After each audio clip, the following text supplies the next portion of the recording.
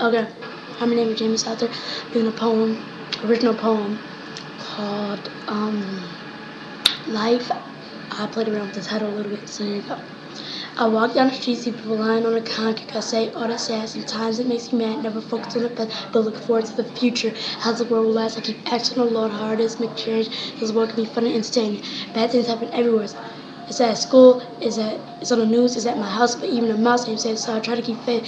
So on the next day, I'm trying to stay alive so I can make a better day. Thank you. And bye bye.